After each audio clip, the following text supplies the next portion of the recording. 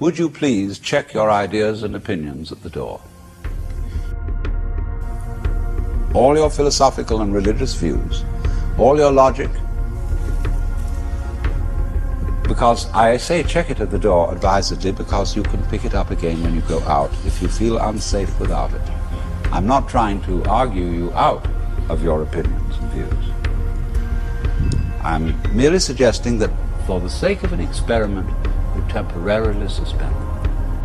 Hello and welcome to the Philosophical Minds Podcast, an exploration of all things philosophical, alchemical, and esoteric from the psycho-spiritual to the material-chemical nature of the all. Join me and my guests as we inquire into the liminality of mind and matter, and tend to the fertile soils of awareness and perception while facilitating an expanded consciousness from the individual to the collective. If you enjoy the show and find it of value, consider supporting and becoming a patron via the Patreon at patreon.com slash philosophicalminds. A small contribution makes a big difference and definitely makes it easier for me to continue the show, although I will always do my best to keep it flowing regardless. Thank you all, and let's get into it.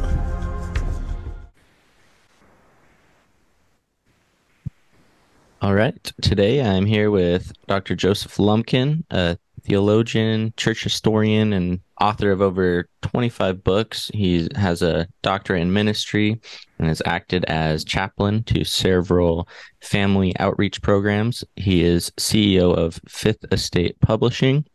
He's got a passion for martial arts and is a teacher of Shinsei Hapkido. Did I pronounce that correctly? Yeah, you did. Congratulations. Thank you. Currently holds a black belt. Most people get that one. yeah, it's a little tough. Um, and then also a computer systems engineer, and you are a contractor for the DoD, the Department of Defense, on some projects involving hypersonic missile technology and supercomputer clustering. So very, very diverse background there. So there's there's obviously a, a lot that we could talk about. But um, firstly, I just thank you for taking the time and doing this. No problem. I, I enjoy it. Uh, I'd actually gotten out of it kind of semi-retired, but um, one uh, asked me to come back in, and so here we are. And so glad you picked me up. Yeah, I'm glad. I'm glad I'm able to have you. So it seems like uh, you produce some of the best modern day translations of ancient religious texts out there. And so when it comes to the various translations of some of these texts, what what are some of the methods or the practices that that you kind of feel separate the wheat from the chaff, so to speak, in terms like when it comes to assembling like a really good quality uh, translation? Well, um, a quality translation depends on a quality text to begin with. And that's rather difficult to come by sometimes. Uh, can you read it? Does it have holes in it? Uh, is it a palimpsest? And we'll go over that in a minute. Uh, does it have missing pieces? That kind of thing. Uh, and then how authentic is it? Uh, one of the problems that we have with, uh, with scripture in, in, general is that you can have let's say you have A and B, and A is written at zero BC or you know, one BC. Let's say there's no zero, one BC, and then B would be written at like uh, 50, and uh, and they they have different lineages, you might say. Their, their parentage is different. They came out of a, a different uh, original text. Okay, so you have the original, and it splits off, and you would think that the the more you got back in history, the, the, the, older it gets, the more accurate it can be. And sometimes that's not true. Sometimes you're, uh, the, the um, say, the second or third or fourth generation scribe makes a mistake, and that mis- mistake is propagated down. It does not have to be uh, that the oldest one is the most accurate. It's the one where the scribe made less errors to begin with, or those errors accumulated at a lower rate as the, as the propagation went on. Remembering that um, uh, the, uh, the, Gutenberg press wasn't invented until what, the 1400s, so up until that point, you had to do hand copying. And so you, you had uh, scriptorians. You, you had a, a scribe. You might be reading to three or four or five other scribes, and they're, they're copying this text. And this is uh, uh, one could be hard of hearing. Uh, one could be, you know, his spelling could be off. Because remember, there was no dictionary. And so uh, you, you, had different spellings, and sometimes it gets pretty trashy. Even in the Middle English, before the dictionaries appeared to uh, standardize our languages, uh, the word he, for example, in, in, in Wycliffe's, uh, it could be H E, H E E, H E I. Uh, you, had all kinds of spellings, and so that was another uh, which people don't really think about. Uh, and so that's that's to begin with. And, and then how do you render the translation? Say, shut the door, or close the door, or slam the door, or so you, have different feelings within the translation. And here's here's the last thing I'll say before we uh, go on to something else. You have to decide how you want to translate it. Do you want an interlinear, a word for word translation? Well, those things will they'll melt your mind. If you open up an interlinear of uh, Greek uh, and, and, you look at it, uh, just imagine Spanish. You have uh, uh, you know, door white instead of white door, right? You, you flip words around. And so your your descriptives, your adjectives and adverbs might be on a different side of the of the, of the noun. And uh, it can get very, very confusing. So interlinear, you, you have a word for word. You usually have the word there that you know is translated. You can really get down into the nitty gritty of what the language actually was supposed to mean. Most people don't want that because uh, it's very difficult to read. Uh, then you have a let's call it a sentence by sentence, which is more like what the uh, the Bibles are today. And then they'll take a, uh, a sentence and they'll frame it in the uh, context of, of uh, and, the grammatical flow of what's going on today in modern English and that. And then you have, uh, we'll call it a, a, thought by thought, um, an idea by idea. And that's more like the Message Bible, which is really easy to read but you know you're leaving some nuances behind. Uh, so those are the three very basic types of translation. And you have mixtures like the Amplified Bible, which is kind of a line by line, but when they get to a, a word that they think needs expanding, uh, they, they amplify or expand that particular word, and it gives you a little bit more meat. So those are the uh, those are the translation approaches that you can take. And then, so say uh, there is some kind of discrepancy with some errors across multiple text. Is the idea or part of the approach, would you kind of cross reference all of the various texts that you have available to you and then use the context as well to try to inform your overall perspective? I, I, I would imagine that would be difficult because scribes might be copying things incorrectly as well. That's right. It's propagated incorrectly. So if you have discrepancies, here's a, a very odd rule that we always take. You take the hardest one. The hardest one is usually the one that's going to be more likely to be accurate. And the reason for that is that a scribe will go on and then he'll, he'll say, well, this doesn't flow right, or maybe they meant this, and, and he'll change the, uh, the wording, he'll change, he'll change it around. So if you read something, you go, that's kind of difficult that's probably going to be the correct one. You know, there's a great line in Monty Python where uh, the Life of Brian, where they're kind of standing at a distance and they're listening to Jesus, and he goes, "What did he say? Blessed are the cheesemakers." I think he means the entire dairy industry, right? And and that I, I broke out laughing. I looked at my wife and I said, "That's exactly what's going on in religion right now. Exactly." I don't quite understand what's going on. Maybe it's this translation. But then maybe he means this. And the scribes would plug it in. That's and it made it flow with the rest of it. The Bible is not a book, it's a library. But when you get it together in one volume, the scribes had a tendency to try to make A match with B. even when these guys didn't know each other, they had never seen each other, they didn't know what's going to flow together in one volume. They wanted A to match B because they wanted their theology to be meshed together nicely, even though the original might not have meant that. That's that's a really funny example. Actually, it kind of puts it into perspective a little bit. I've really been fascinated just with ancient history and religions and ancient texts as, as far as I can remember, and it's always been really interesting to me in regards to Christianity in particular.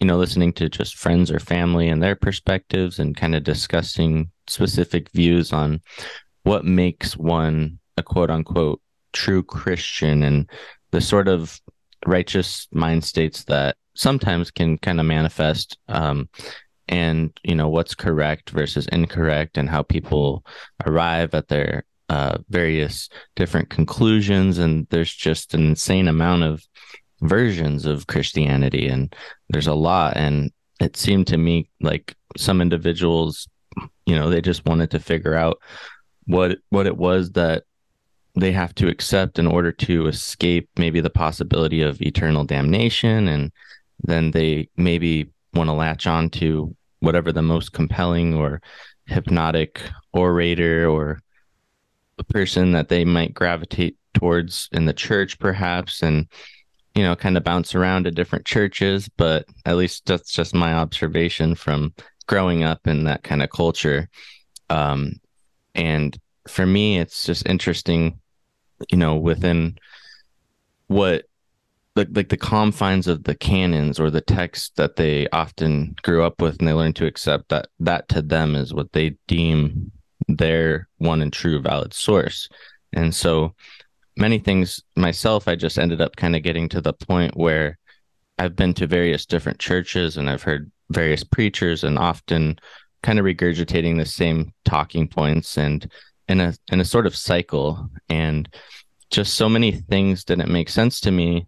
Um i know i have mormon friends catholic friends non-denominational jewish and you know most of them just appeared to be kind of going along with the structures and the cultures of belief that they were born into for various reasons whether whether it be that maybe the family might like disown them or think less of them if they deviated or perhaps maybe they felt guilty about something that they had done and it, they had that goal of redemption. But i just got where i became really just interested in the truth and you know at least what's the most probable or or what's important to take away from all of this information. And i had to just step back and say to myself that i can't really accept anything that i'm hearing from any one individual because just a singular source, it kind of confines everybody to their own limitations and their biases. So I just I want to know about all the texts and all the ancient religions and the origins and how how we got the texts, you know, the languages, the cultures surrounding them, when and where they were translated and and all of that and the, maybe the political or societal motivations that may have influenced the interpretations or you know what's deemed authentic all of it. And so i continue to kind of entertain and explore various perspe- perspectives to this day. Um, and it's kind of led me to a greater understanding of things like the bible although that understanding it's still super infantile compared to guys like you. And i have to you know always expand my interest learning about these things. Like there's like the Nag Hammadi scriptures. There's the Apocrypha, the Dead Sea Scrolls, the Book of Enoch.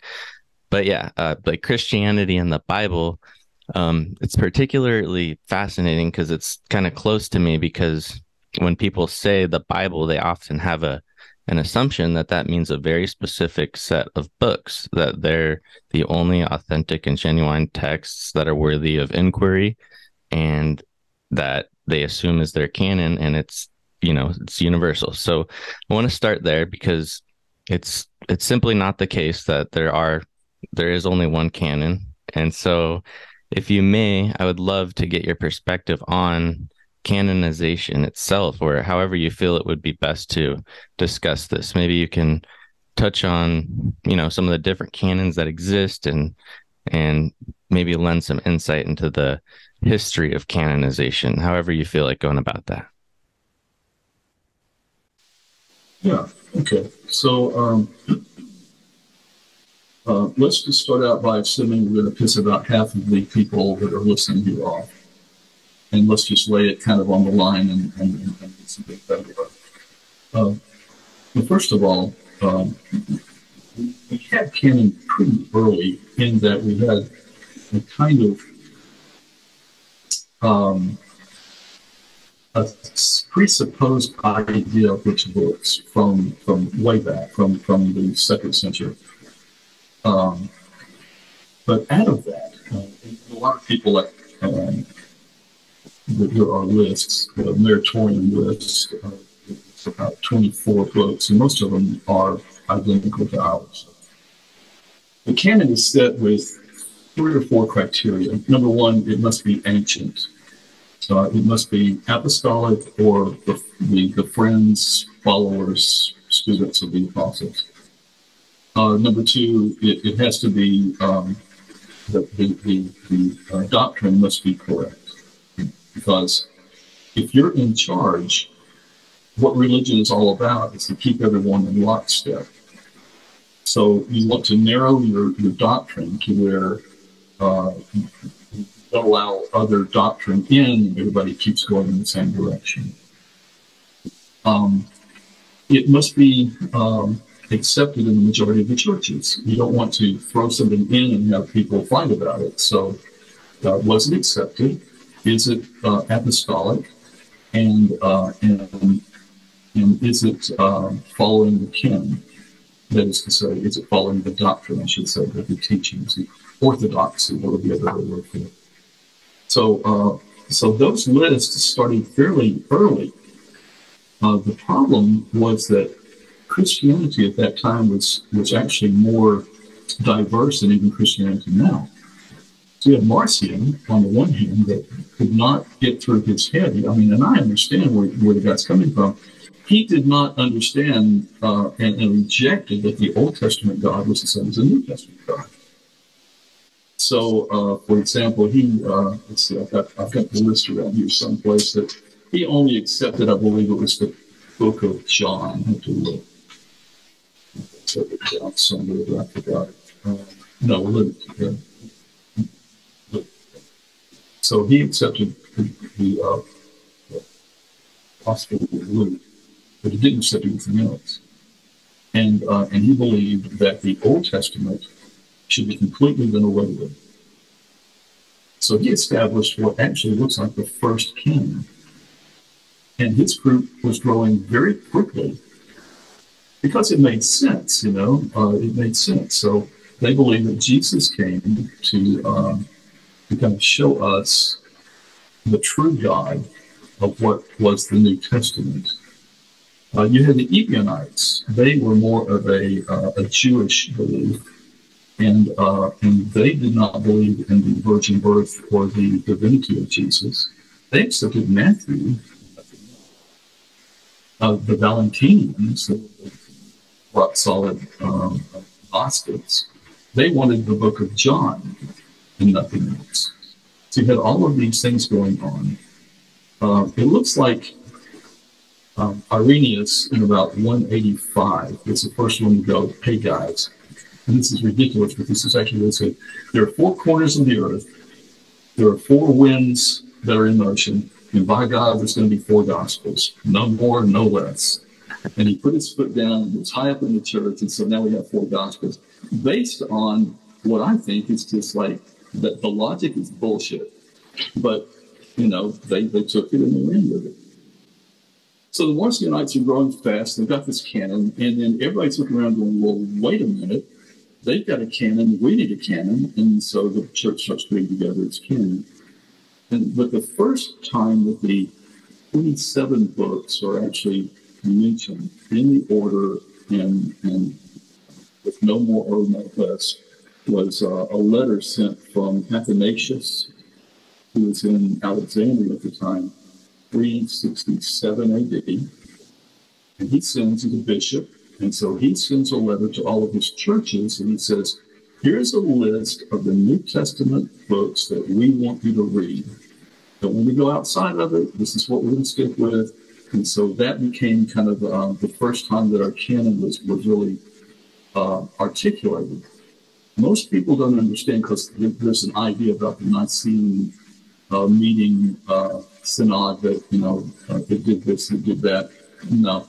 The first time canon was actually written down by the church, accepted, and stamped, that is to say, became an edict, um, was in um, Trent.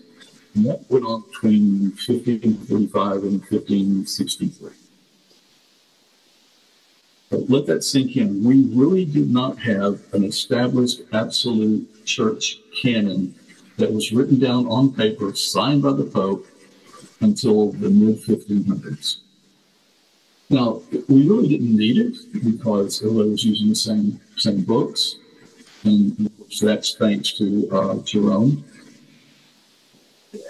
Prior to Jerome used the Septuagint. Uh, Jerome started out using the Septuagint, decided that it was not uh, to his liking, and so he tossed that out and he went back to what he could find um, and, and, and Greek text. So uh, the Septuagint, I've got a book here, let me see. This Bible right here, which is the uh, Orthodox Eastern Church, this this right here uses the Septuagint. It's, uh, it's the Orthodox Study Bible, and uh, it's translated from the Septuagint. Uh, let's go the King James. The Textus Receptus came from the work, actually, of um, Eusebius. And, uh, and the odd thing about that, pardon me, is that he had discovered some uh, Byzantine uh, translations, or, or codices, actually. So he had Hebrew and, and Greek in the Byzantine era, which is about 1200, 1200 AD. Think of how many mistakes were made from 45, which is, I think, when Mark was written, 45 to 39 AD, all the way to 1200. How many copies and errors that produced? But that work became our Textus Receptus, which was used in King James. Now, one one last point. Um, the majority of our translations, especially from around 1300 on to about, uh, well, to King James, were all done because of political pressure. And that's another thing. So uh, Wycliffe uh, was, let's just say, scolded because he translated the Vulgate into, um, into English in the 1300s. Um, so when Queen Mary, which is Bloody Mary, came there, but let's go back just a little bit. Uh, King Henry VIII, okay, he breaks away. Uh, he becomes Protestant. He establishes the book or the, the Church of England, which we call uh, Episcopal here, by the way. It's Anglican Church is the Episcopal Church in the U.S. Uh, and uh, he becomes uh, over that church. And he, he has a, an idea that kings should rule over their individual churches and individual areas and not the popes, because the kings know the people. And the pope is worldwide. And, you know, what does he know what's going on backwoods of um, Cambodia, whatever. So uh, the idea is that he's now the Church of England's head, the defender of the faith. The Pope had said he did not want the laity to have a Bible.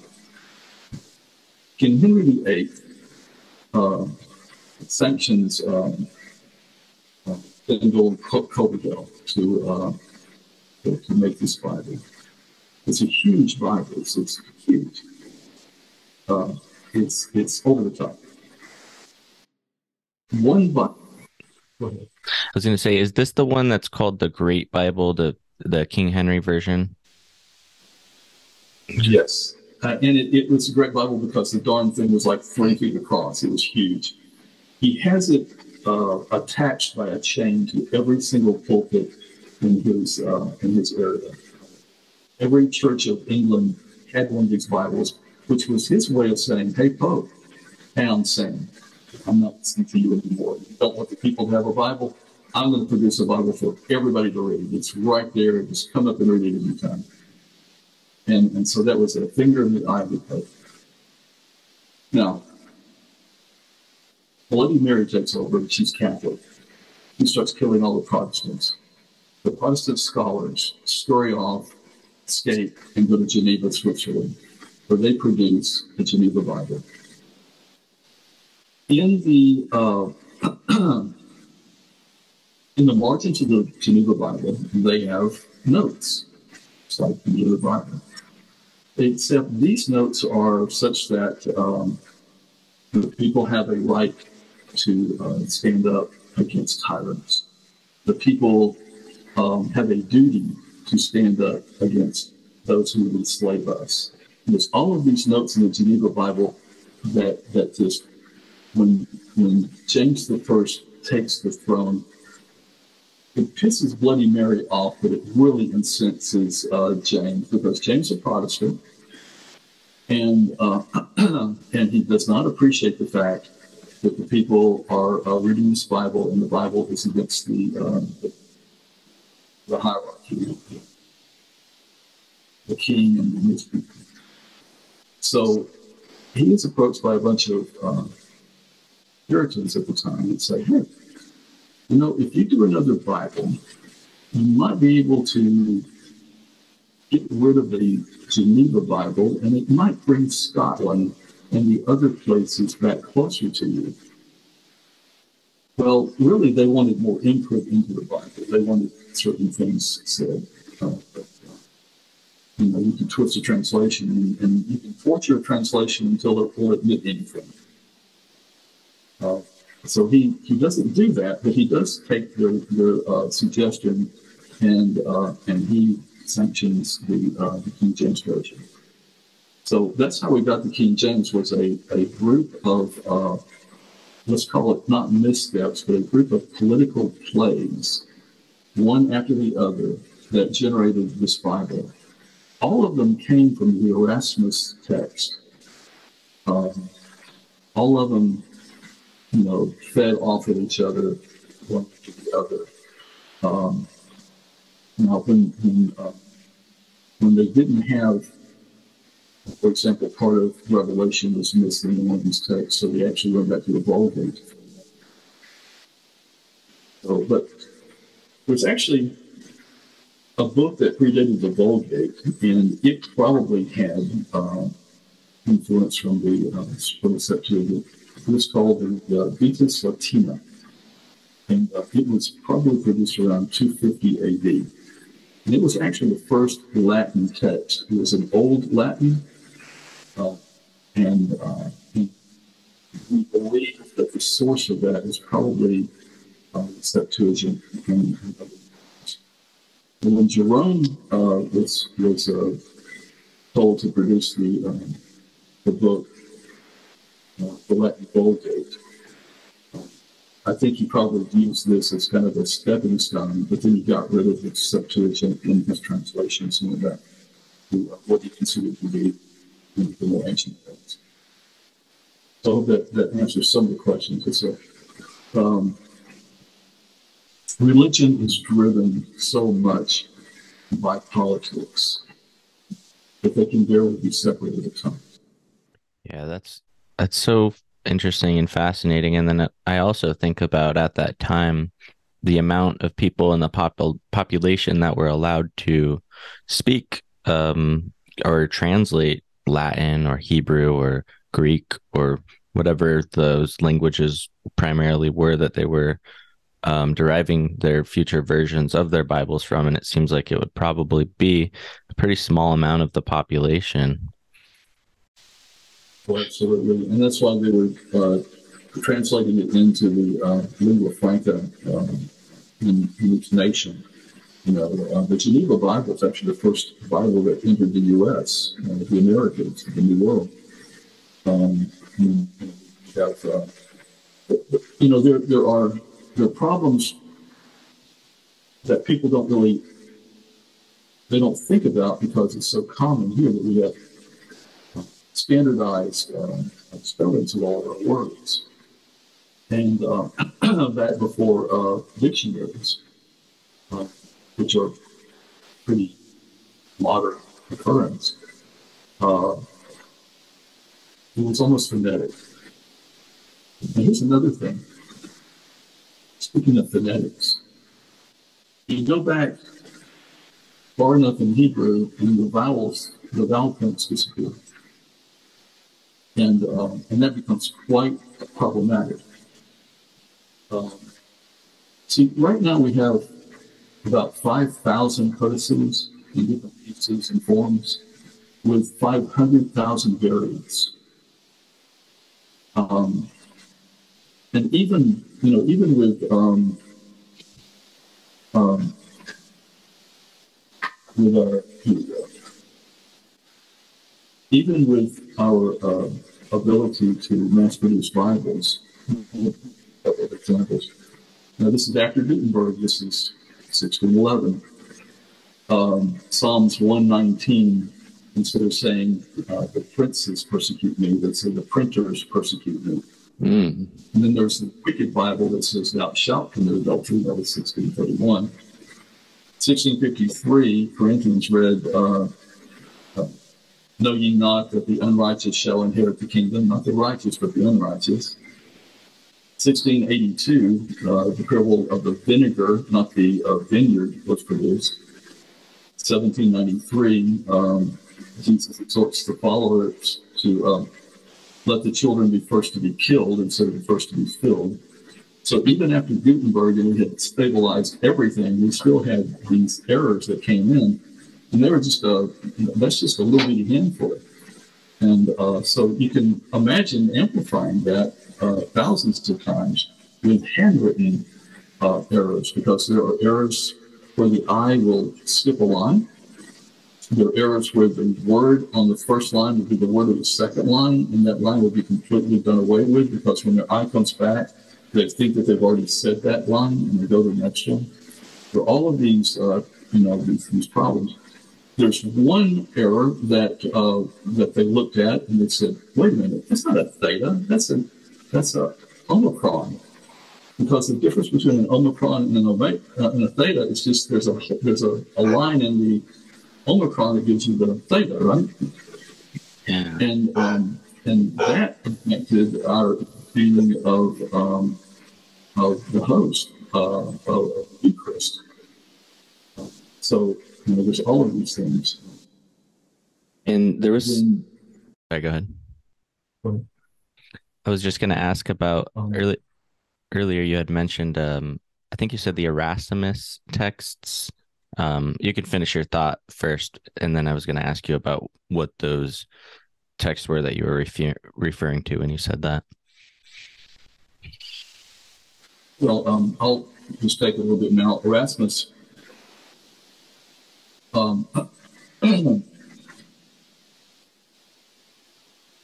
Erasmus uh, was was a scholar of languages and uh, theologian. He was a brilliant man, and uh, and he wanted to take the Bible back to some of the more ancient sources, get away from the Vulgate and all the things that that um, had happened to that. Because see, uh, beginning in the third century, um, the uh, church fathers were really, really concerned at the amount of errors building up.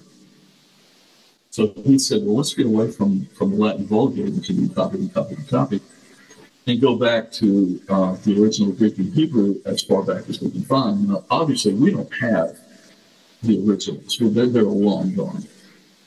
Uh, what he did come up with was uh, some, some Byzantine uh, uh, codices of Greek and Hebrew, which he set about to translate.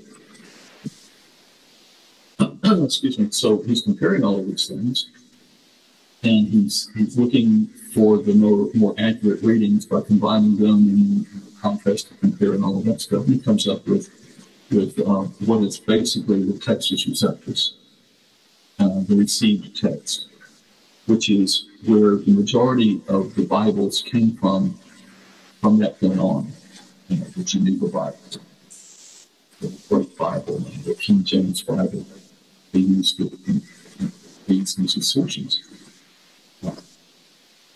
So, but this is a kind of deep dive, and I apologize to your listeners if this is kind of boring, but let's take a couple of really quick points. We think we have this Bible and it's inspired. Matthew, Mark, Luke, and John were probably not written by Matthew, Mark, Luke, and John. They never say they were. And, and you have to kind of let that sink in. Matthew, Mark, Luke, and John were probably not written by Matthew, Mark, Luke, and John. They were probably dead by the average life expectancy in that particular time is 35 to 45. So some of these are, are so old, like the book of John, for example, is so old, it probably was never, could never, I mean, you could have lived 100 years and not be. But these things were, were written in the third person. So there were probably people who knew these guys but they were not these guys. And it never says that they were. If you read them, it never says, I, Matthew, wrote this book. That's the first thing. Second thing is, there's so much that has been added, especially going up to the Textus Receptus because you have 1,200 years, that you have to look at this and go, exactly what happened here? And I'll give you an example. Every year in my area of the country, people die from handling snakes or from drinking poison. Because we have a group of people in Sand Mountain, right up the road, I'm in Alabama. And we're in Georgia, Tennessee, and Alabama, and Sand Mountain. And they're usually um, Pentecostal holiness. And they bring out the snakes, and they bring out the strychnine, and somebody will die. And then they will say, well, it's because you didn't have enough faith. Well, no, it's because the end of Mark didn't exist. The end of Mark, in the very, very oldest witnesses, ends with uh, the girls seeing Jesus and telling no one because they didn't think they would believe them. And it stops. The scribes said, Well, that's not good. That's not theater. That won't preach. That's kind of flat let's make an ending to it. And so there are four distinct endings of Mark. Uh, we like this one. It became tradition because it stuck around for so long. It preaches really, really well. And so now we have this end of Mark where it says, uh, and they will pick up, or they pick up snakes, and they will drink poison, they will heal the sick, they'll raise the dead, and uh, and doesn't just end right there. It has this wonderful ending, which is never in the beginning of the text, the original oldest text. Um, there are other things. For thine is the kingdom, the power, and the glory forever. It does not exist in the older text. The Lord's Prayer just simply ends before the doxology. Um, the, uh, the, the story of the woman being caught in adultery is a phenomenal story. I love it. It doesn't exist in the older versions. Also, in the older versions, the number of the beast was 616, not 666. Oh, really? Well, wow. it turns out. Yeah. So it turns out that, um, that there's a, a, theory called preterism, and that says that uh, what they were writing about had already come to pass. The writing uh, as a warning um, to the people at the time. So if you take the different ways of spelling Nero Caesar, there, are two ways of spelling it uh, because of the uh, big sigma uh, being there or not being there in certain translations. Um, you come up with 666 on one hand and 616 on the other. And when spelling into the metric, into word measure, into the language. So the very oldest ones, you'll have 616 lots and lots of changes. Um, too many to, to, to fill up your show with. It would be boring. Yeah. I think that that's a interesting point too. Like just the old, I think it might be called gematria as well as, as kind of a layer of interpretation.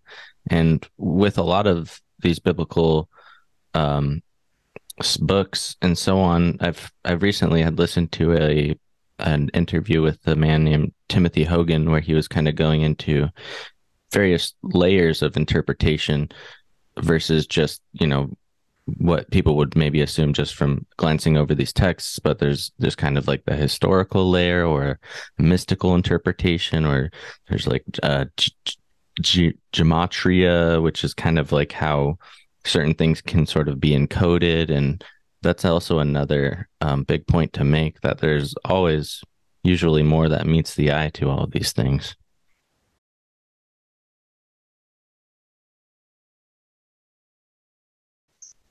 All right, just back from a quick break. Um, you're saying you were looking for a book just now, but you weren't able to find it. Um, what was that about? Yeah, Scriptural Limericks was written by Ed Bullinger, who's actually a friend of my grandfather. Uh, wrote, the thing probably came out in the 50s or 60s. Wrote an interesting and very insightful and encompassing book on the uh, value and meaning numbers in the scriptures. Uh, it's, it's worth uh, looking at. Even though. Yeah, to check that out.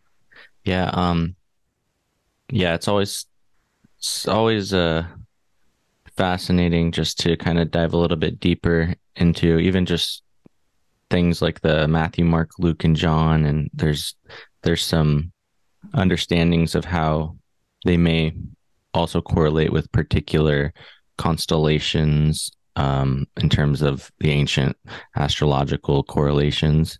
And not to say that that's 100% for certain, but I think it definitely just those kinds of insights they lend a lot more of a overall uh, view of how and what some of these things could be conveying that are confusing and often not understood because there's there's so much throughout the Bible that sometimes you read some things and you're just like I don't really understand what is trying to be communicated there but sometimes if you look at things through different lenses you can kind of pick up on oh okay in this context that makes sense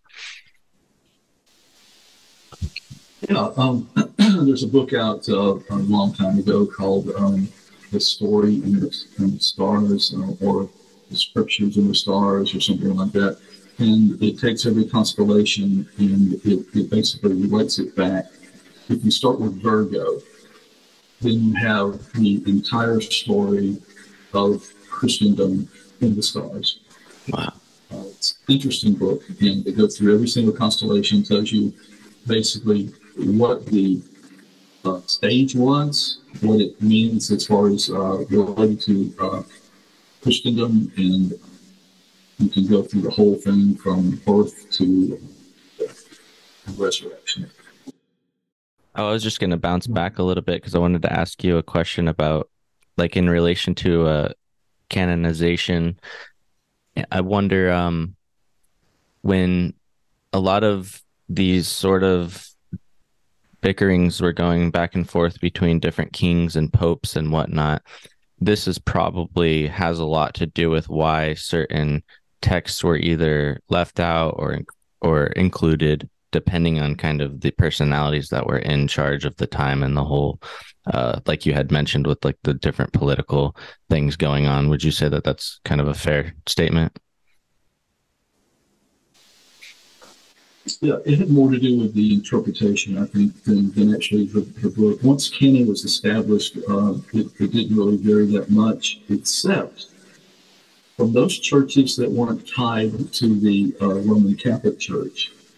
Uh, see, if you're if you're Orthodox and you're you're Roman Catholic, you, but but if you don't belong to that church, you don't have to follow that canon now, the Protestants inherited the canon, and, and they didn't really question it. Don't ask me why. I, I would have probably been one, hey guys.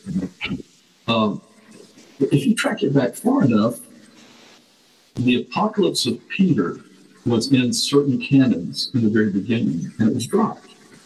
They had the apocalypse of John, which is what we now call Revelation, because apocalypse is, is, is to reveal. And to reveal its revelation. And so the apocalypse of John is revelation of John. It's actually the revelation of Jesus Christ to John. So there was an apocalypse of, of Peter in the very beginning. And I, I would would recommend the readers kind of look over this. Interesting. may actually be how uh, Dante got his idea of hell, because uh, the Apocalypse of Peter is, uh, a picture, tour, if you will, of hell. And, uh, and to kind of sum it up, if you're a bad guy and you've uh, lied, you're going to be hung um, over hell you know, by your tongue. And uh, if you're a woman and you've braided your hair, to get men to notice you, you'll be hung by hair. And if you're an adulterer, you'll be hung by other things. So there you go. And you'll burn forever with, uh, you know, hooked up in the most un, uh, unenjoyable way. So, um, there was also uh, a gospel of Peter in the very beginning that was accepted for a short period of time. It's a, it's a great book. It's a, it's a very powerful book. Looks a whole lot like uh, Matthew, Mark, Luke, and John, except when Jesus comes out of the tomb, he's, he, he, he expands. It's like metaphorically, he is up to heaven. And the, and the cross is coming out with him, this metaphorical cross. And God asks the cross, Have you preached to all people? And the cross says, Yes, I have. And so uh, the reason that that book was taken out of the running, if you will, for canon is because it has one sentence in it that looks docetic. Doceticism is the belief that Jesus actually wasn't a flesh and blood person, he was a spirit. That was an illusion of a person. Uh, it's a Gnostic belief. And, and this one line says that when he was being crucified, he kept silent, like he felt no pain. And uh, one of the bishops said uh, that at first he, he okayed the book, and then he came back and said, well, you know, this could be looked at as Gnostic, that one line, so we'll get rid of it. And it was done away with. And that's uh, that happened uh, you know, quite often. You'd have a, a book that was read and, and it, it was uh, cool, good book. And then you'd have one line where they'd go, oh, that doesn't sound orthodox, and get rid of the whole thing. Uh, so that's that's really how we kind of got to it. Yeah, and are you able to speak a little bit to some of the discrepancies between the Gnostic lines of thinking as and and how that was kind of in conflict with the majority of the church during those times. I know that Gnosticism is one of those things I get a lot of different opinions about, so I'm always curious and interested to sort of ask anybody what their thoughts are on that. Well, um, I think you have to cut through the uh, you cut through the creation myth of Gnosticism, get to the heart of it, and you understand why it took off. People have been asking from the beginning why bad things happen to people. Why is this earth so messed up? Why do we have disease and all of this stuff? And Christendom in the very beginning didn't have really a, a Satan the way that we do now. We, Satan has grown over the years into his own little goddom and uh, his own little kingdom. It wasn't like that in the very beginning. He was just uh, uh, the accuser. He was just you know going back and forth, going, "Hey, check that out. Hey, look at him." Um, and he was considered to be just a, a, a angel, kind of a pest then we we contacted. Uh, there's there's a theory of cross pollination within religion that seems to hold up pretty well, and so Zoroastrianism kind of came in and, and it had a bifurcated uh, cosmology, and we kind of took over that. So now we have two people that are vying you know, God and, and say raise Satan up to a little, a little god. Okay, so Gnosticism. From the very beginning, Gnosticism said the reason this place is so messed up is because the God that created it was insane. Within the earth was broken. And so, from a broken, insane, cruel creator came a broken, insane, cruel world. And everybody went, that frigging makes sense.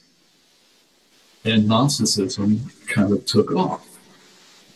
Marcion, you know, uh, he, he's viewed as a Gnostic because he said the God of the Old Testament created this world. And that God is not the God that Jesus is teaching. Two different gods. And everybody went, that makes sense. Because how can this God, who, for example, said to the Israelites, go into this land and kill everything that moves, don't leave anything alive? I have a theory about that, that that's where the fallen angels were. That's beside the point. Don't leave anything alive. What does he do? Well, King Saul brings back hostages. He is dethroned because of it. He, he shut down Samuel. Samuel says, God's had enough. Uh, he might digress. So Gnosticism, in my mind, has a couple of things in common with who's Gnostic you are, if you're Valentinus or you're you know, Russian or whatever. Uh, you believe that um, the God that created this world is not the God of Jesus. You believe that the God who created this world is broken and cruel, and that's why this world is broken and cruel. Most of the time, the Gnostics believe that Jesus had come to show us the way to the one true God. The, not the creator, not the demiurge, but the in, in the Pleroma, uh, the, the, the actual creator, father of everything, including the demiurge. And that, that pretty much is what we have in common. So everything in my mind could be figured within a sense. I'm old, you know, sometimes I forget things.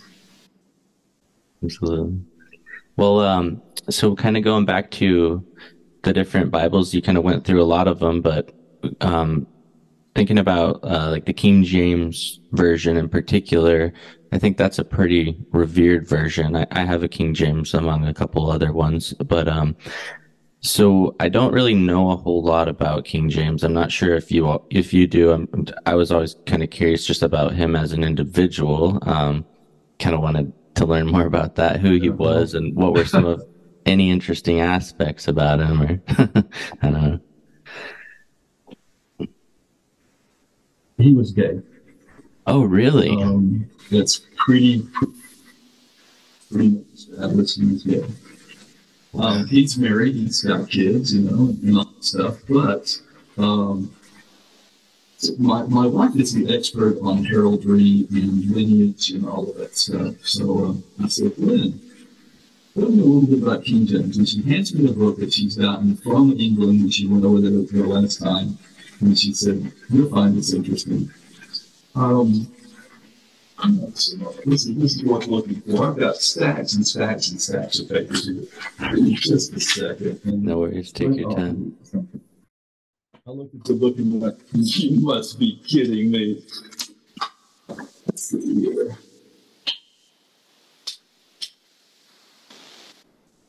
Yeah, there's a lot of King James loyalists out there.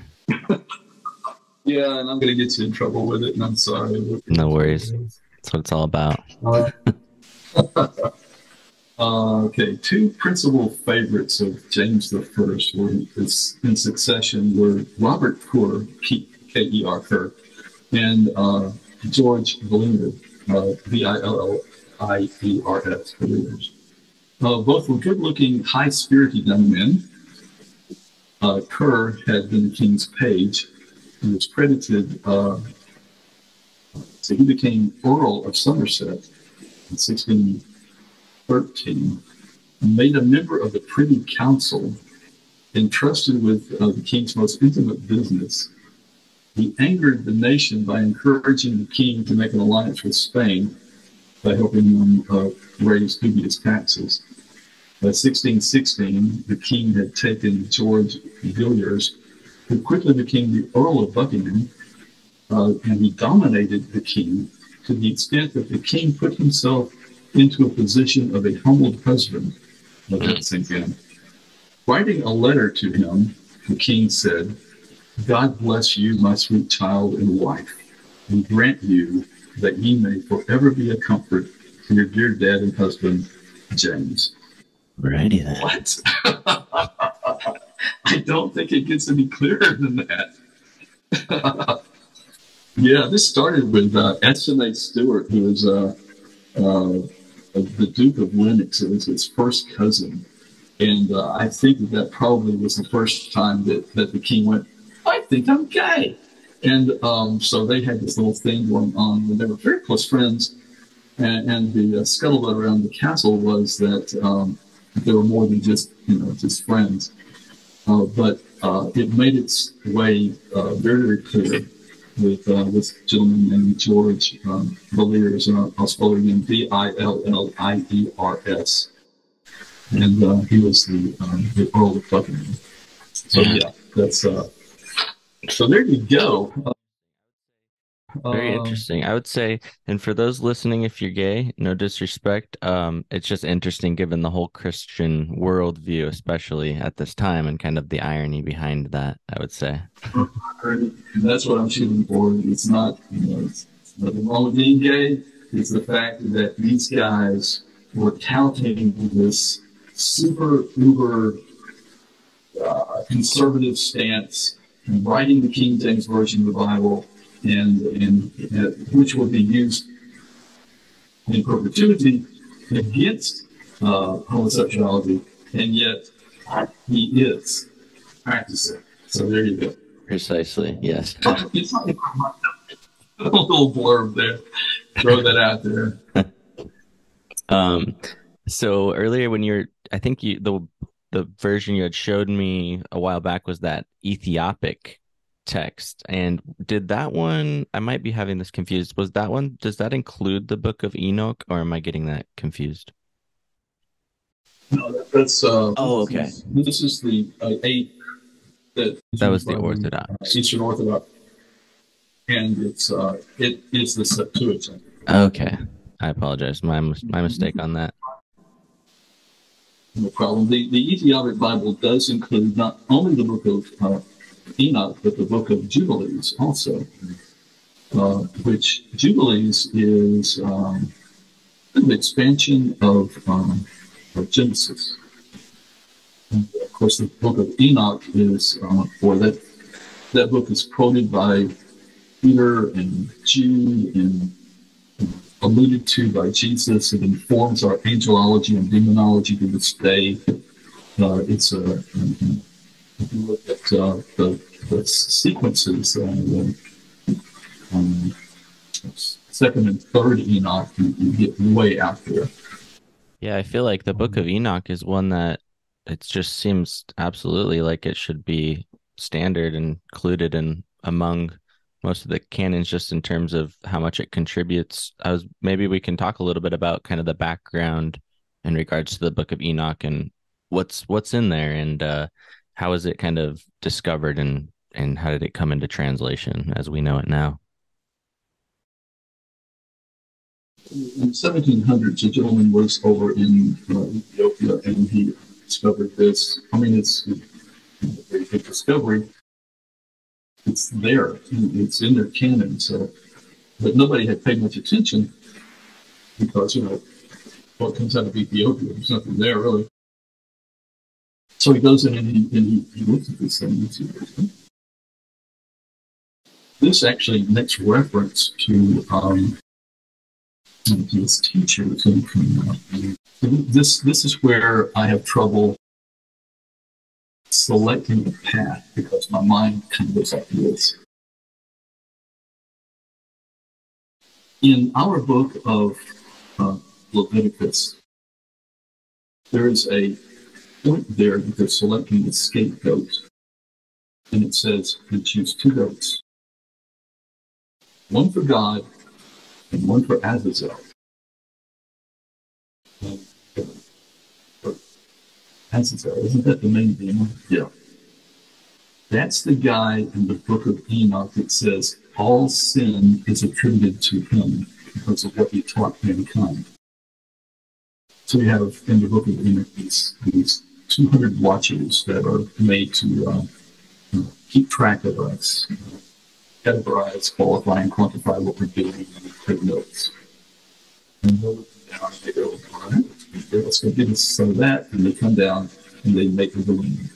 And they produce three separate types of offspring. the Elio Nephilim, which is the fallen, and the giants, which we believe the Elio was probably the new renowned the in Joseph's story. So that's probably Hercules and Achilles and all of those kind of hybrid humans. But all of that is, uh, is wrapped up in, in know. There's a problem though. A lot of the, the uh, stories that came after there's a tradition called the Midrash tradition. And it's a, it's a way of story that's written. It's an expansion of a story to explain something that hasn't been explained in the scriptures. Like, for example, if you look in the book of Genesis, there are two separate creation stories. They're different. And everybody everybody reads the Bible like it's going to blow through it and they kind of swish it together, and in their mind they're making one story. If you really want to know what's going on, you read it parallel. Matthew, Mark, Luke, and John parallel. Uh, Genesis, you read in sections. So if you look at Genesis 1 versus Genesis 2, you have two separate completely different uh, creation stories. Okay, so and and and so you have to. The, the Jews are very liberal people. They they want to make everything make sense. So it looks like maybe Adam had two wives. One was made with him out of the dust. One was made from him out of a rib. From the first story, they had to get rid of her. It became Lilith. Mm. Lilith was that demon.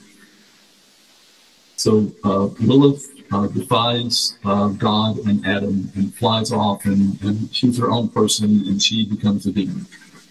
And in the old stories of uh, the Middle Ages in Hebrew, she was, uh, she was the one that took the uh, the life of the children. The infant mortality was due to Lilith uh, so were nocturnal ejaculations because she was supposed to come in and sit on the face. And that's actually written in the, in the Hebrew text that that's, that causes men to ejaculate. Mm. Um, so all of our woes are, are wrapped up in Lilith, who was the first wife of Adam, because that was the first. You know, so that's the way stories have to be concocted, right? Which leads me back to to um, his problem with Enoch. Enoch is a man that's taken up. And now we have a problem because flesh and blood cannot abide in heaven. That's what the Jews said. So got to do something about it. So in the book of Second Enoch and Third Enoch, you see Enoch going up into heaven and becoming Metatron, when he enters heaven, uh, the angels literally say, I smell semen and it stinks. Who is here in heaven? And uh, and God basically says it's uh, it's Enoch, and uh, you're going to have to worship him because he's going to be over you. He's made over the angels, and they throw a fit. So God pretty well fixes that. He makes him a higher angel. He makes him Metatron we have an evolution of Enoch happening. I contend that that story is a mythos in the uh, Joseph Campbell style of myth It shows the possible evolution spiritually of mankind itself.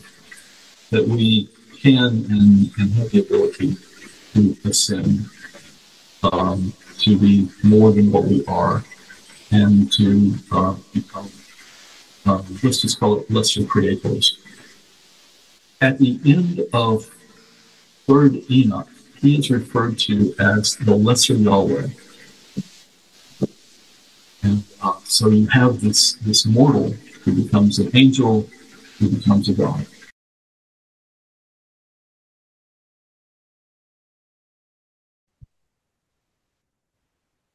Yeah, there's from what I understand, there's so many parts of the Bible that the book of Enoch has parallelisms with and and correct me if I'm wrong, but aren't there even almost direct passages that are included in the book of Enoch that pop out um, in the common biblical canons as well? Yes, uh, the book of um. So this is how I got started down this rabbit hole because I will tell you right off that uh, in seminary you're really more indoctrinated than educated. And so I'm um, I'm going through my thesis and I run across this quote from Jude that says, "He will come back with ten thousands of his saints to accept to blah blah blah." The footnote, it said C1EN. And I thought, well, what's 1EN? I, I don't know that book. And I looked it up and it was First Enoch. So I thought, well, a book that is quoted for an entire paragraph and multiple lines, right out of the Bible, should probably be looked into. And uh, when I looked into it, it uh, every translation I could find was a stilted Elizabethan fake English. It was it was just full of pompous language that was made to confuse people. And I, I came home and I said, Lynn, this book is important. I, I really feel in my gut that it's important. And I'm going to do a fresh translation. And I'm going to do it like they did in the 1970s with um, the, um, the Bible. Um, you're probably too young to, to know this, but back in the day, we, we had Good News for Modern Men, which was a very uh, modernized, uh, really accessible translation of the King James. And it, and it was partially credited with uh, keeping the Jesus movement going. I want to do it in that style, but a little bit less frivolous. And uh, so I start, set about to, um, when I got through with it and I published it, about a month later, it went number uh, 700, which doesn't sound very good, but 700 out of, at that time, 7 million um, on Amazon. I, I thought I was king of the world for a moment. Heck yeah. but it's a little bit having, you know, it's the king of tiddlywinks, right? Doesn't last long. It's very small. Uh, um, and I thought, you know, there's there's hunger for this knowledge that's that's kept from people. And so I did second and third Enoch also, and we put it out. So this book. Wow, it's a thick one too. This book. This book has been number one for about seven years. Wow. Its little genre, which I think is uh, Christian wisdom literature. Yeah, um, pardon me. It, it was um, uh, Sky. It, it, felt like I was there and it happened. If that makes any sense. I was curious because you do the it's there's three books, I guess. They're book Enoch one, Enoch two, and Enoch three. Um, which I wasn't actually aware of that. So I was wondering if at one point was there only a single book and then it got developed further into those three books and then consolidated. Like, are all three of them considered the Book of Enoch, or are they considered individual books? Great question. And no, uh, the first book of Enoch is the only thing found in the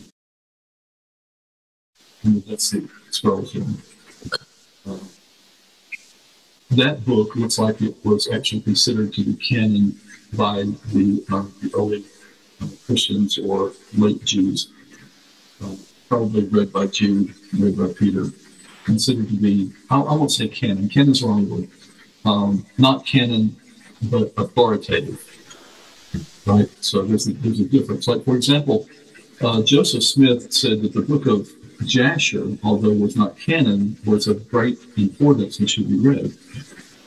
Um, so you, you, have different, you know, um, structures of this is canon, but this is important, and this is heretical, so stay away from it. You know. So this is on the, it is very important, and they considered it to be, the be um, great use. Yeah. And apparently informed them. Now, another problem we have in uh, translation is something called palimpsest. Um, occasionally we will run across, let's, let's make an example. You come to me and you have a book of uh, Mark. And I have a book of Enoch. And you have another book of Mark at home. So you can get rid of your book of Mark. And so what you'll do is you'll take your your, your vellum, your, your uh, parchment, and you'll scrape it. And you'll remove the top surface, which has the book of Mark on it, and you'll write over it the book of Matthew, or I'm sorry, vice versa. And so now you have a book of and a book of Matthew. And you can take that back home with you. Um, and that happens more often than not because uh, the writing implements at the time, especially the, parchment, were hard to come by. So they would reuse it, they would wash it, scrape it, reuse it. Well, it turns out that not all ink is the same. And uh, if you bombard these inks with separate uh, wavelengths, we can get one ink to fluoresce more than the other.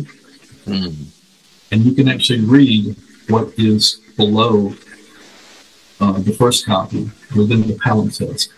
Wow. That makes sense? Yeah. So you said if you bombard it with particular wavelengths, you're able to to bring forward the the older text into visibility. Is that correct? What you're saying? Yeah, I, I was called by uh, the Travel Channel at one time to come to LA and kind of explain all of this, and I came up with a little little thing that really kind of helped everybody out. They, they didn't air this, but the uh, producers needed to know what they were dealing with. So uh, you see this right here. Uh, you can pretend that that's a text. Okay.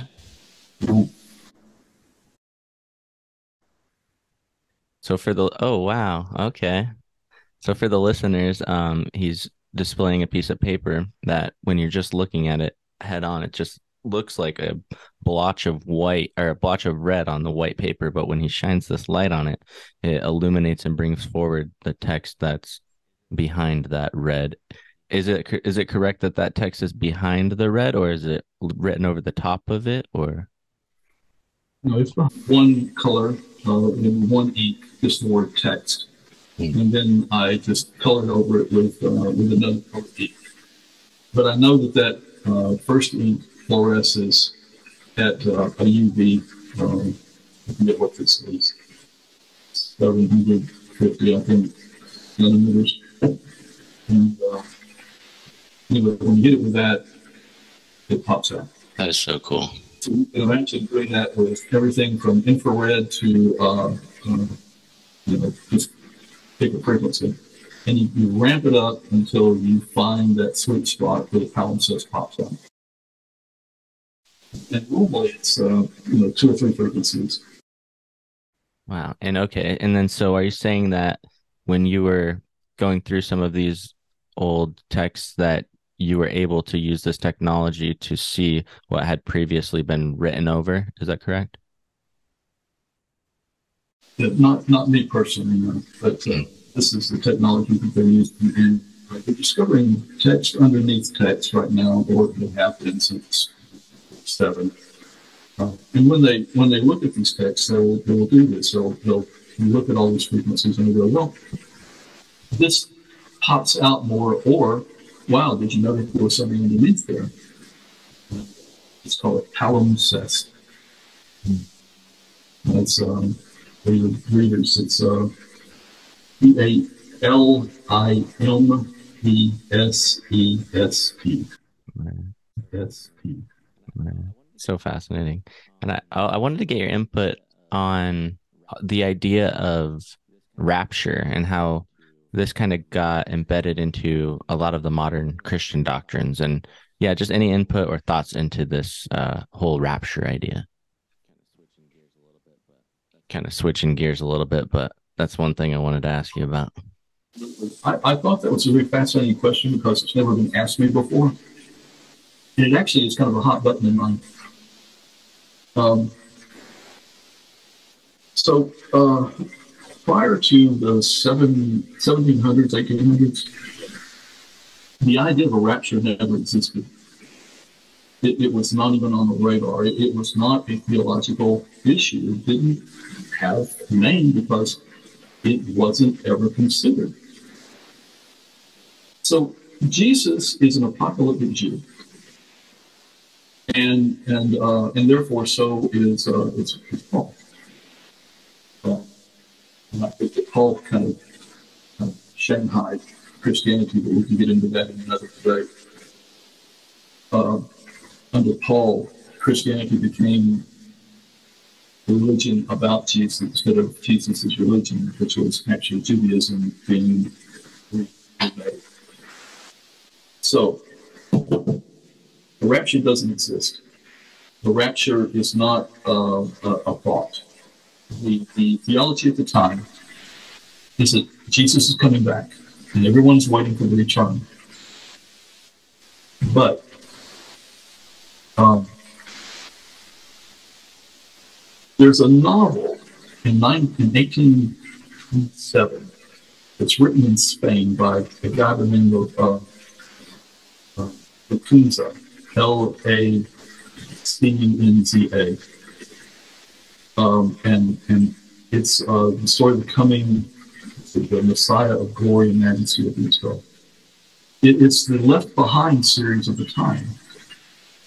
It's a nice little novel. It, it's it's a fiction based on religion, and uh, and and he sets about to describe this this idea of the rapture by taking a piece from Thessalonians and a piece from uh, Revelation, doing there, mixes them together, and he gets this picture of the rapture. And it's in this, uh, it's in this context. But the name of Edward Irving, and he's a preacher, but he's kind of a Pentecostal, ardent, you know, kind of radical He's, he's preaching in uh, the churches in Scotland, where it is.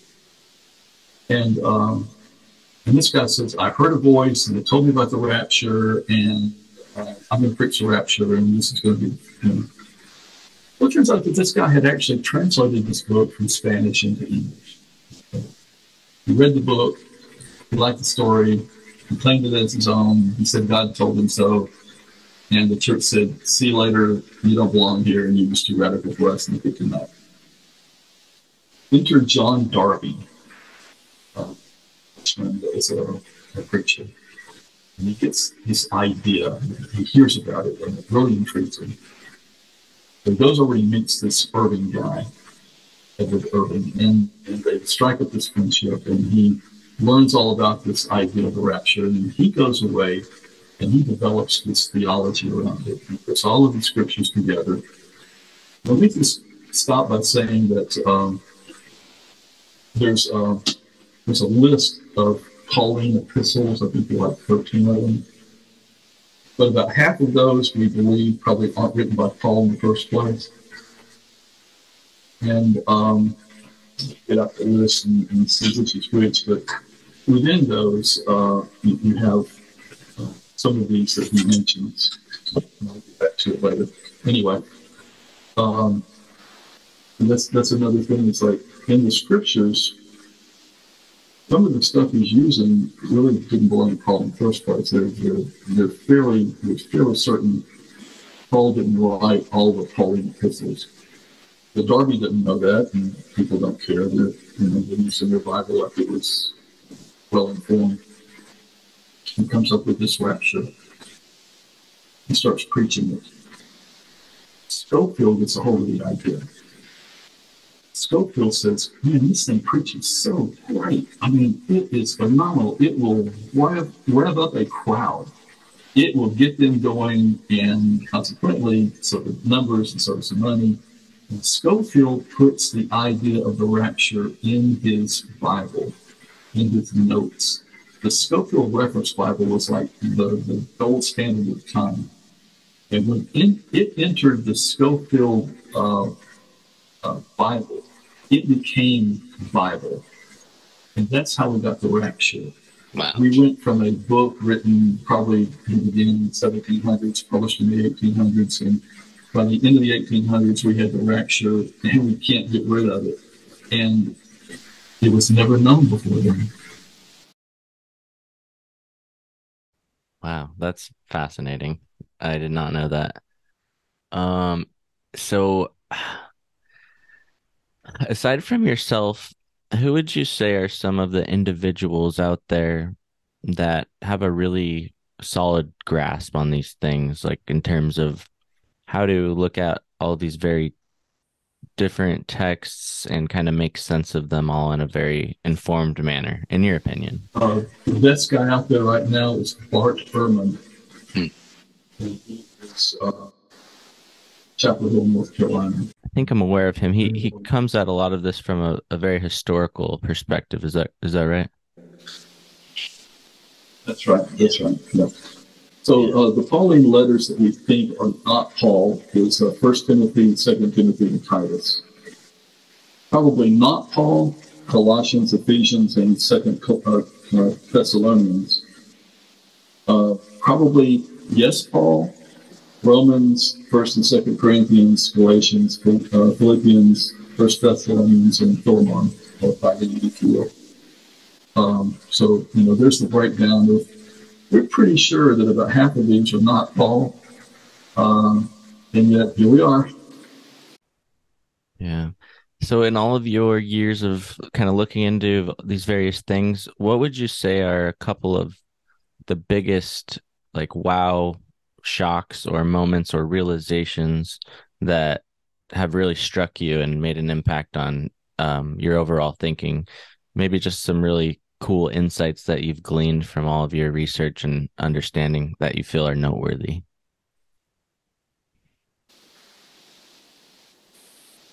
Um, the fact that none of this really makes a difference, that, um, that we can do all we want and uh, and we should, but at the end of the day, it's not making a difference. Our our idea of what God is does not change God one bit. Our idea of what uh, created us doesn't change the fact that we're here. And, uh, and whether Jesus said this or that, um, if we look at him and we look at his teaching, uh, and we even get rid of the things that we think probably were, were presented for him and not by him, like the, long cutting um, we still have the most rock solid way of living.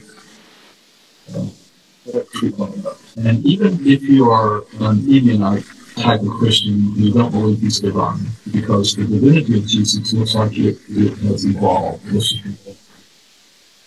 Um, it, really doesn't make any difference because the teaching of the man is probably the pinnacle of humankind. So I, I leave you with that. The aha moments probably came when I realized that um, that a great part of the scriptures uh, were added or were changed. But even if you take those away, uh, don't touch the teaching of the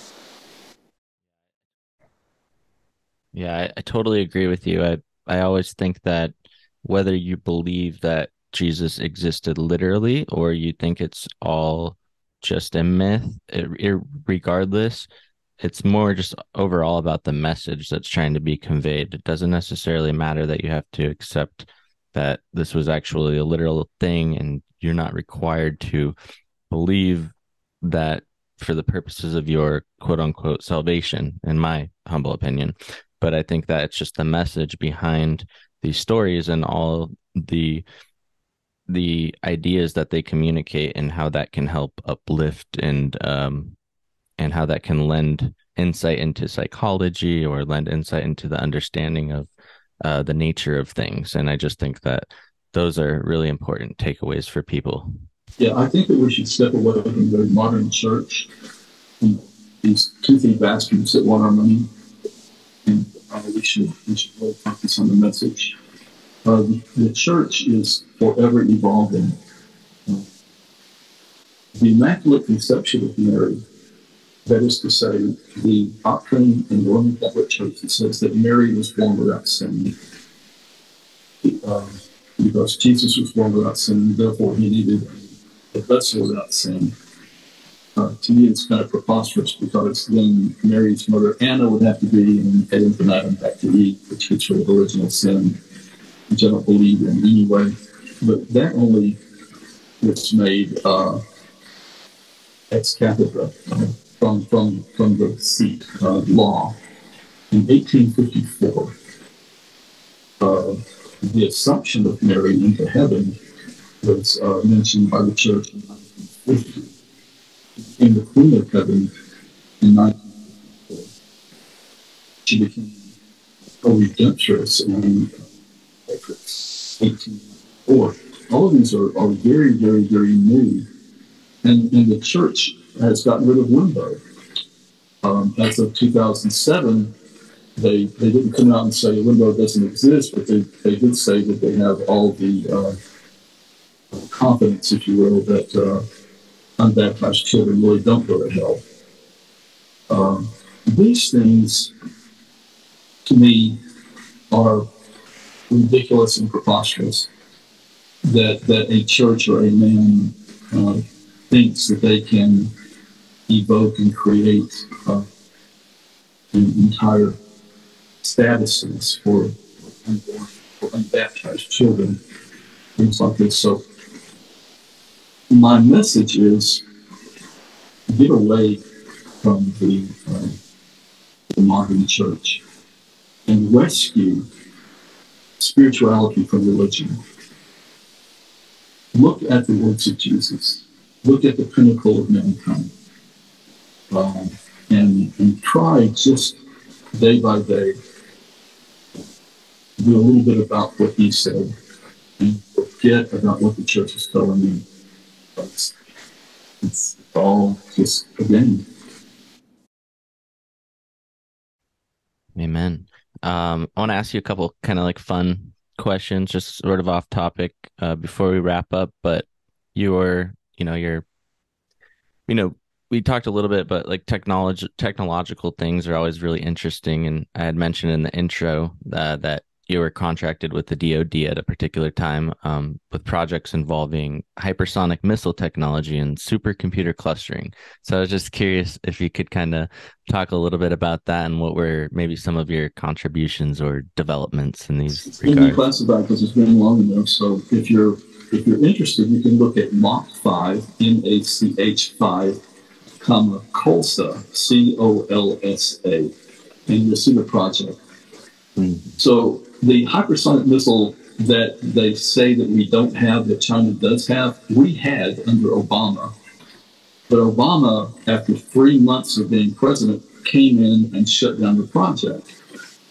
So it's not like we don't have it. It's like we tabled it until China overtook us. At that time, we had 1,600 uh, computers running on a very, very fast backbone. And uh, we were the 15th fastest on the planet, according to top500.org. The top500.org will not tell you what the NSA or other three-letter agencies have. But those agencies that were reporting the computer speed, we were number 15 on the planet. And uh, our, our uh, mission was to uh, model uh, hypersonic missiles in rarefied gases, that is to say, the upper atmosphere, and to figure out how we can uh, do that faster and better and efficiently. wow, that's super interesting. a lot of money went into it because uh, they screwed up the first time. Yeah. quick, uh, yeah. So, they fired this is a test out of uh, out of the Marshall uh, Island Channel. So the fire missile goes up. And then they fire the uh, hypersonic missile. And what it's supposed to do is go up, kick in the scramjet, and look out and see the intercept path, calculate the vector, and intercept. And they were so good that they could actually calculate to within two or three inches of where it was going to hit on the missile. Um, they actually had a, uh, a bank, if you will, in the missile that told them what type of missile they were seeing depending on the heat signature and where the sweet spot on the missile was. They had everything down to the inch. Wow. Yeah, it seems like a wow. Yeah, it seems like a pretty advanced kind of advanced trajectory mapping sort of technology or something along those lines.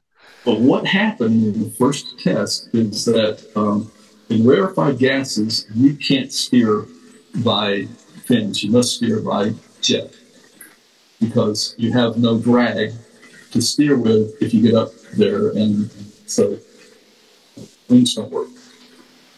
So it fires uh, a steering jet, and within about three milliseconds, a vortex has formed.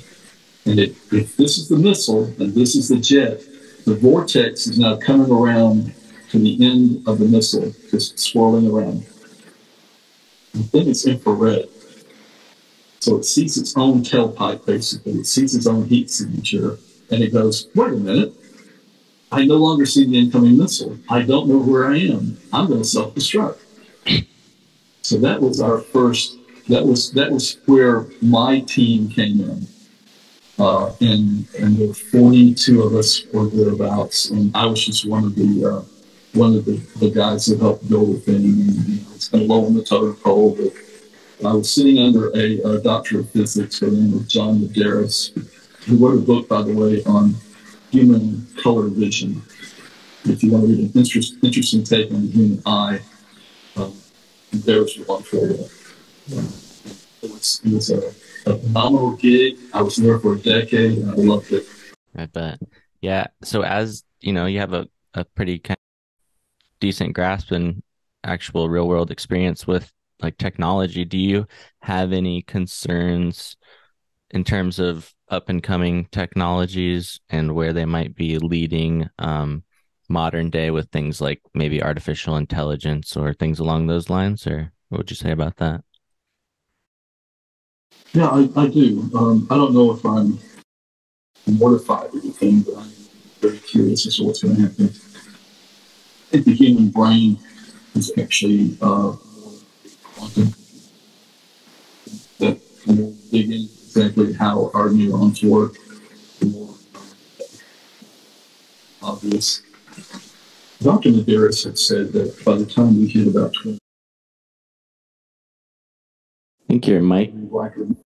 Sorry, your mic was cutting out a little bit. I don't know if it picked up that last couple sentences, but I'll let you go ahead and rephrase it. Dr. Medeiros had said one time that um, by about 2030 would probably singularity, uh, self-awareness. Uh, based on the fact that you're, you're now, excuse me, you now have really fairly good working uh, quantum computers. And uh, we'll get that worked out and it becomes large enough. Uh, we'll probably have uh, sentience. I don't know what that's going to mean. It was just his idea that I'm tossing out there based on know, brilliant. These guys are so bright, Sky, when you walk into the room. When they walk into the room, the air changed. Um, it's like, wow, Dr. King's does he feel? But I miss uh, I, the uh, I miss the camaraderie and, and brilliance of whole thing. Just, you know, Well, Dr. Lumpkin, you're a legend. Um, I just want to thank you again for your time. If if you have any last messages at all that you just want to throw out there, um, the floor is yours. You can maybe leave people with a message or leave your um, your links or where people could find your books, anything. Well, if you just go to Amazon and type in my name, you probably come up. Uh, fifthestate.pub. We called it that because, if you remember, there were four estates. Uh, in, French, it was uh, broken down into the king, the clergy, the people, and the press. And my thought was the press has failed us, and we have become the press. We have become the press. And so there's the fifth estate. So fifthestate.pub will get you there, or just type in the name anytime. Um, our our purpose, I believe, is to reach the second Axial Age. First, first was when Buddha, Confucius, Lao-Tzu, go answer were born, all of them just a few hundred years of each other. We're coming up on kind of a splitting point. And I'm afraid that if we do not make that second large leap, where we can leave religion behind and find spirituality in God, we're probably going to destroy each other. So, religion is the poison to the well, in my opinion, and that's a person who's been raised in religion all of my life. I see the constructs of the church and the doctrine as like glass. You can see the truth through it, but you can't touch it. And so we have to strip away that and get rid of all the preconceived ideas and find um, our spiritual selves. And do that, I believe that um, we will have God.